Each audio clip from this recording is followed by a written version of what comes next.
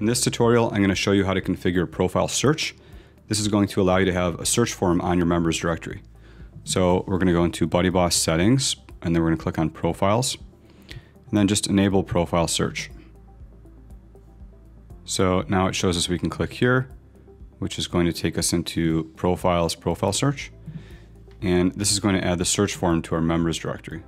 So here we are in a members directory, and it's going to add this filter results on here. We're to add some fields. So I could say first name, and let's say last name.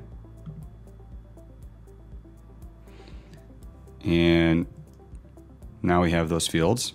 So I could search by Mateo. It's going to give us Mateo here. What's his last name? Mateo Gabriel. So I can search two fields at once and we'll still get his result. Let me just reset that.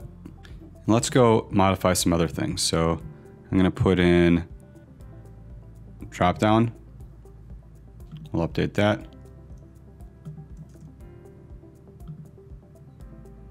That was just a field I'd added earlier.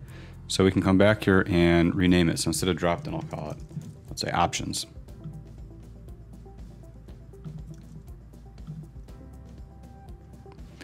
And we can give a description.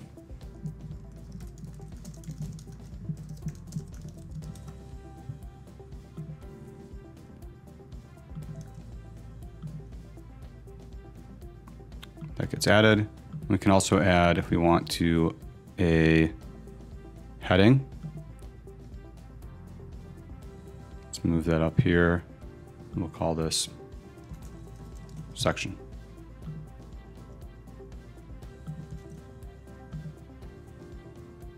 So that gives us a kind of break in the form with a heading. And then we can also add this special field called search all fields. I want to call it something like keywords, whatever you want.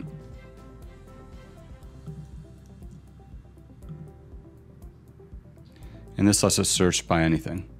So I'll just search by, for example, Trent. And he shows up.